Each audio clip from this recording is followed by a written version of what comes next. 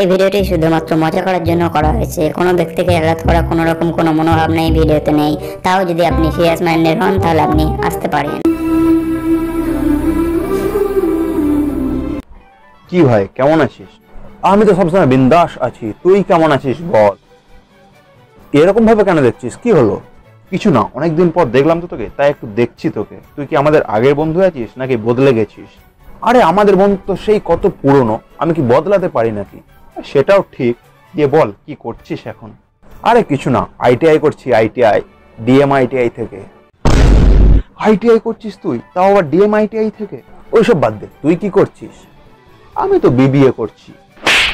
কি? বিবিএ করছিস? ওইসব পড়ার কথা বাদ দে। তোর মনে আছে ছোটবেলায় আমরা কত মজা করতাম, কত আনন্দ করতাম ছোটবেলায়?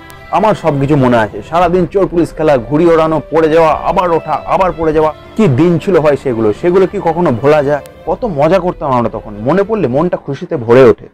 তোর মনে আছে তুই একবার সোমেদের ঘরে রকেট ছেড়ে দিয়েছিলি? সালা ঘরে নালিশ করতে চলে এসেছিল।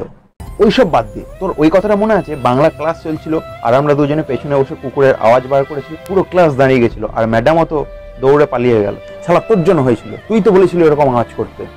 হয়ে যায় বাচ্চা বেলায় এরকম।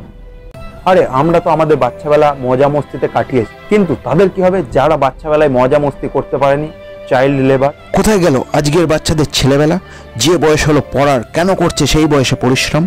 পড়ার বয়সে যদি না পড়ে, তাহলে পড়বে কখন? কে নেবে এদের দায়িত্ব? কতদিন হবে এই বাচ্চাদের ব্যবহার?